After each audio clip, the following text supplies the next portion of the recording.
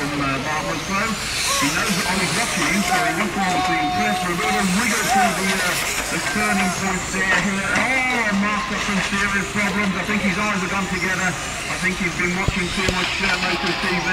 I tell you, oh, and Mark tripled it. Okay, Mark is, uh, he's got a bit of a, a Chinese water in that one, could hear me. So this is the, uh, the A final 13.5. And it's Damian Giddins uh, that led uh, from the early doors in car number two. Car number one, Tony Ward, not decided to uh, take to the track because it's a little bit too wet. And uh, we are we are sort of like uh, having judging here for the synchronised car swimming that's uh, allowed to happen around West London the, this afternoon on the see it through the Diamond Jubilee Bank Holiday weekend here, and uh, I've got to point out one particular car that's in this race from Red Bull Racing, going up the middle of the track now, just coming towards the technical side now. Uh, and a, a very, very thought out back body shell. You saw him racing down at the Cotswolds in the BRCA, and uh, that's, that's Bryan Nortje, car number eight, in, uh, in third position. And uh, I think Christian Horner would be very pleased with Bryan's performance today. Uh, a very, very short out. Not too much detail on it, but doesn't it look sexy going around the track in these rooster tails of uh, water here in West London. And of course, the, uh, the only time you'll see marshals wearing uh, aqua gear uh, today at West London, snorkels the likes of uh, never been seen before in these very trying conditions here at West London. And Mr. Musgrove has decided he can't swim, he can't hold his breath for five minutes and breathe through his ears. So he's decided to, uh, to pull out and uh, that's it.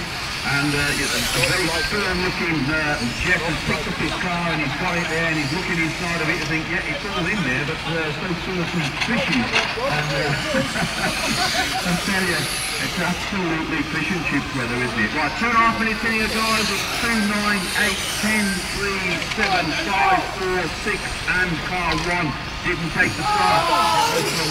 So four and nine. Tony Watts, car number nine. Absolutely ballistic. If he can keep it going, is a big performance. Remember, it's only one final for us. We're used to two, but it's the point of where you finish. And it does look like uh, Tony Watts has got this one uh, in, in his sights. It's Damian Giddins car number two breaks down. Oh, somebody's on their roof there.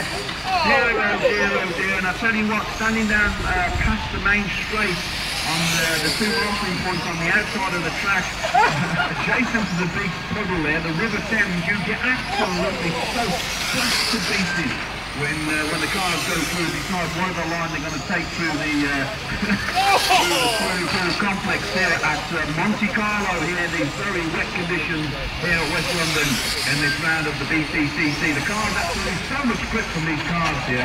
People are putting popping PBs in, uh, PBs in. I tell you what, so much grip in this uh, in these conditions that the cars actually actually grip rolling. Absolutely incredible when you see what performance these uh, Schumacher weather tires can bring you.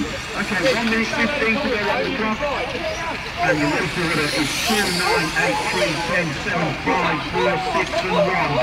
Damian and Tony battling out for the lead with Bryan there uh,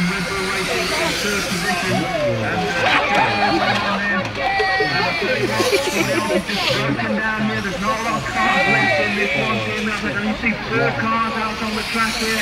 Everybody else is behind finish the marking point number one there and gets it going again. Uh, that is, uh, oh, I think that was, uh, I think it could have been damaged just on uh, his middle now. Blue, white and orange car, blue, orange white tyre just coming through the book clencher and uh, one more lap to the good. 30 seconds to go. Now car number nine. Uh, car number nine has got nine stickers on it, but I think he's got car number two transponder attached to it, giving me his car number two. There was a number nine sticker on it, unless he forgot to change the numbers.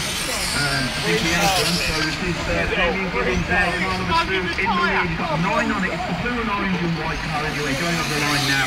That is the lead car in this A final 13.5 and Tony Watson ninth on the grid, uh, coming in second position, then it's Bryan and I think they're the only contenders left in this. Finish your lap drivers and uh, try your time there when you can before we change the category between the quicker between accidents class, which is the 10.5, the national class of racing for 2012, and uh, the next three. We're on at the end of that one. So we've got Damian who takes the win from Tony Bryan and Dan